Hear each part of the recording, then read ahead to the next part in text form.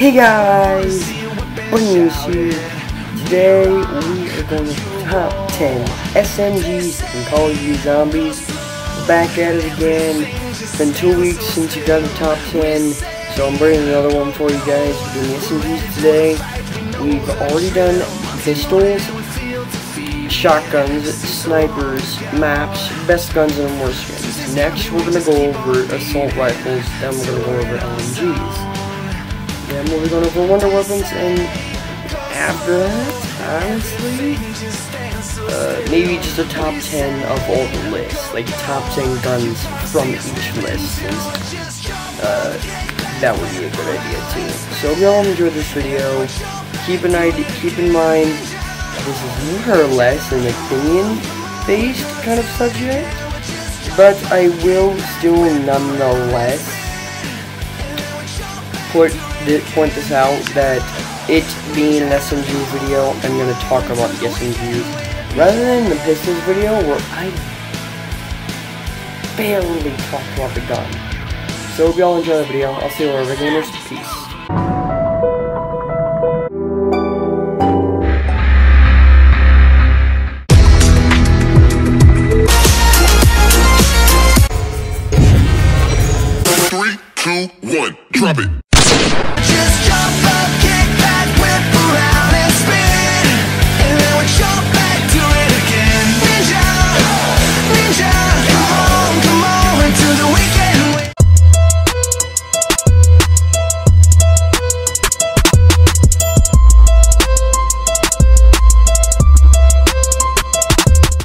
Number 10. Coming at number 10, guys, we have the World at War MP40. We are only going at the one version of this gun, the World at War 1, because I decided going through all the versions would be kind of a weird pick because each one is a different one.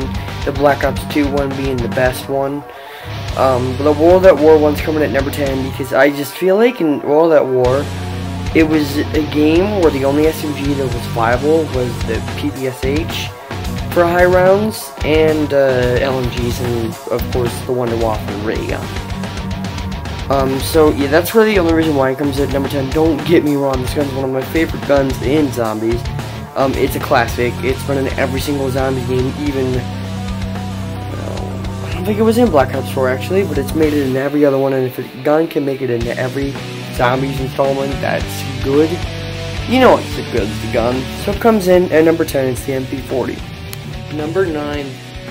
Coming at number 9, guys, we have the Weevil. So, I put the Weevil at number 9 for one specific reason that holds it back as a gun. It is the slowness of the gun, even with double tap. It really doesn't feel like an SMG when it's that slow. I mean, even the Pharaoh is more fast than this thing. Like, it's it's bad that if a gun that does less damage and sucks is faster than a gun that does a lot of damage. So, otherwise besides that, the gun's got a lot of ammo. It can compete with a lot of the heavy hitters with ammo. It's got a really good amount of damage for an SMG, mind you. Not a lot of guns that are SMGs have good damage. Um, a lot of SMGs are like a sh- fast shooting gun, but low damage, like what is it, the M1927 Tommy gun? It's a fast shooting gun, but it's a weak gun. It's not on the list, I forgot about it, otherwise I would have put it on this list. It's a powerful, it's a weak gun, but shoots a lot of bullets and really fast, that's why it's good. This is a gun that's actually powerful, and it shoots damage. It shoots slow though, that's why it's at number 9. Comes in at number 9, it's the Weevil. Number 8. Coming at number 8, guys, we have the Type 100 from World at War. So, I put this in instead of the bootlegger because the bootlegger came after. Even though I got it in, I think the bootlegger probably is better. I used it. It is a really strong weapon. I was playing on Nacht der Untoten and Black Ops 3. I got to like round 20, but that's a non-pack punch, and I didn't need another gun. Course, I had like a ray gun Mark II with me, but I didn't need it. But the Type 100 is, or the 100,000, not 100,000, wow, I am terrible. Um, 1001 Samurais, if you will, is a really fast shooting gun, a okay when it comes to strong gun and a um, decent amount of ammo, but considering it's a World at War SMG, like I said, um, the World at War SMGs, uh, definitely the only one that's actually worth using the high rounds is the PPSH with a reason. Um, this is why it comes in at number 8. But this gun is a good gun, a strong gun, a fast gun, and it has good reload speed. Comes in at number 8, it's a Type 100. Number 7. Coming at number 7, guys, we have the Thompson. I put this in after the um, Type 100 because you can get it off the wall earlier on on Der Riese. If you look into the room that this uh, Crazy Rabbit's in right now, you can get it in there, but you have to go to the right teleporter right after you go up the stairs to get the Type 100, and the uh, Thompson's also cheaper. So, ammo-wise, pack-a-punch, it's always going to be the same, but buying the gun itself is cheaper, and I also think this gun has more ammo, even if it has less ammo in a clip, and um, does less damage, it is a probably similar gun to the Type 100. But like I said, the only reason why it comes in after is the fact that it comes on in earlier on in the map, uh, right actually after the second door you buy, under Riese slash freaking like second last one if you're like going around the, the route that he's going through, which I don't know why you would be. Um, comes in number seven, it's the Thompson. Number six. Coming at number six, guys, we have the VMP from Black Ops 3. So, I gotta admit, after the first time I used this weapon, I fell in love with Black Ops 3 SMGs. Originally, I was always an assault rifle, shotgun, assault rifle, wonder weapon, assault rifle, sniper, even just assault rifle, pistol kind of guy. I never often picked up SMGs except for the PPSH. Black Ops 3 came around, I didn't know if the VMP was good or not, but when I played the Giant, I picked it up and I realized this gun is a good weapon. It's a strong, really good weapon. It's a fast weapon. It's got a good amount of ammo. Um, like its counterpart, the Vesper, I think those are the two similar ones. Um, it shoots really, really fast. Unlike the Vesper, though, it has ammo. Uh, the Vesper doesn't have enough ammo. This gun's got a lot of ammo, good reload speed on its own, good amount of damage, and it's also really mobile, so you can train with it like most SMGs. Comes in at number 6, it's the VMP. Number 5. Hey, would you guys stop throwing out fireworks? I'm trying to make a video here. Anyway, guys, number 5, we have the Vesper. So, the Vesper is coming in after the VMP because I feel like the gun kills more zombies in the end, even if the ammo is a lack of because of its speed. If you can see, this gun is like Scorpion Evo fast. It's insanely quick. Like, you run out of ammo like a snap of your fingers like that. It's pretty, you know, fast. But I feel like the damage on the gun also helps. Like, even if um, it shoots very fast, you lose ammo, you reload insanely quick, and the damage is really high, especially when you hit those headshots. You're dominating zombies on like round 20, and then you're gonna need double tap, double pack punch, and maybe even um, electric cherry to uh, keep yourself going. And I don't even know, maybe even double pack punch isn't enough. Maybe you just can't use the gun.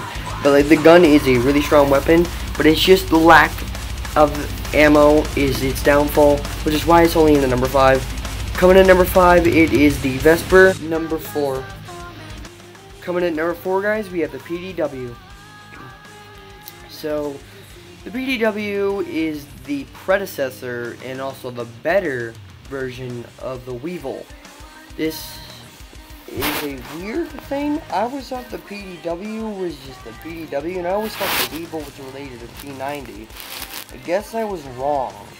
Um, but this gun is a found on Die Rise, Origins, and I don't know if it's on Mob of the Dead or Buried. No, it is on Buried. I don't know if it's on Mob of the Dead though. Um, I think something else is on Mob of the Dead instead of it, like the MP5. But this gun's a really good training weapon, as you can see. You're training in the mud. You can train in the mud with the gun. You can train with it anywhere, um, because the mud's insanely hard to train in. It's a really fast shooting gun, a decent amount of ammo, and a decent strong weapon, but I think the Weevil has the damaged part down better than this gun. Like I feel like this gun doesn't do enough enough damage. The Weevil can harness that, but the Weevil should have paid attention to fire rate, unlike it didn't. Comes in at number four. It's the PDW. Number three. Coming in number three, guys, we have the Uzi from Black Ops 2 Mob of the Dead. This gun is featured on one map, and that is it. And it really should have been featured on more maps, because this gun is really good.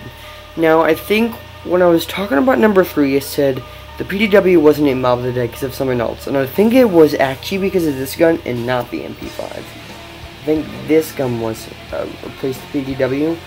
And, you know, honestly, it deserves the right to with this gun. This gun shoots so fast that when you shoot a single bullet, which I'll get the sound of the Uzi plane and then cut the audio from here and on. So I'll need the audio for you guys to play for the Uzi, and I'm letting you know what it's. It sounds insanely. It sounds like a barrage of bullets, not single bullets. See what I mean? It's a really fast gun, good reload speed, real good strength. It's an Uzi too, so that has points in my book. Comes in number three. It's the mini Uzi. Number two. Ugh, the fireworks don't stop. Coming in at number two, we have the Scorpion Evo. And I'm literally going to make this the shortest one. I'm just going to play the sound of the gun to explain why it's so good. Oh wait, what about in slow motion? Okay, what about super slow-mo?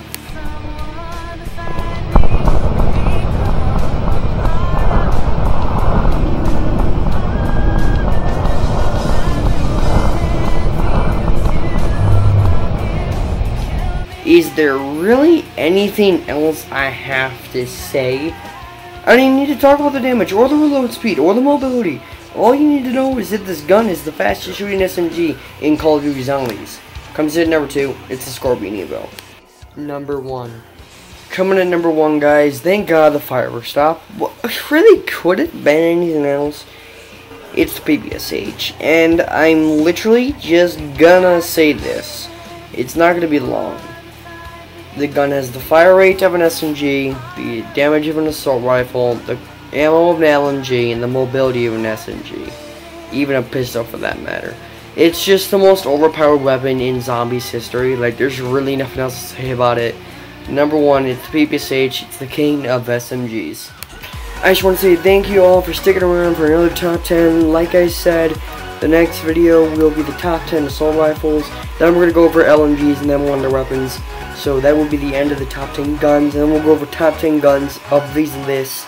I'll go over each gun from each list in a row what guns are better than not. And probably the one row will be number one. But hope y'all enjoyed. I'll see you the gamers. Peace. Right foot up, left foot slide. Left foot up, right foot slide. They go right foot up, left foot slide. Left foot up, right foot slide. Basically, I'm saying.